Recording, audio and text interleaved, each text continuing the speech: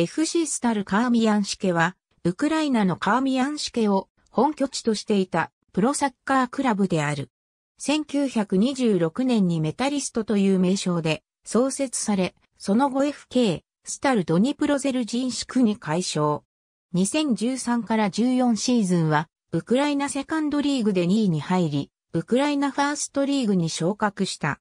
2014から15シーズンは、ウクライナファーストリーグで2位という結果を残した。2015年6月、FC スタルカーミアンシケは、ウクライナプレミアリーグ所属のメタルルフドネツィクとの合併交渉を進めていたが、同年7月11日にクリミア危機、ウクライナ東部紛争を原因に経営破綻したため、交渉が決裂した。しかし、撤退したメタルルフドネツィクの代わりに、ウクライナプレミアリーグに昇格することが決定した。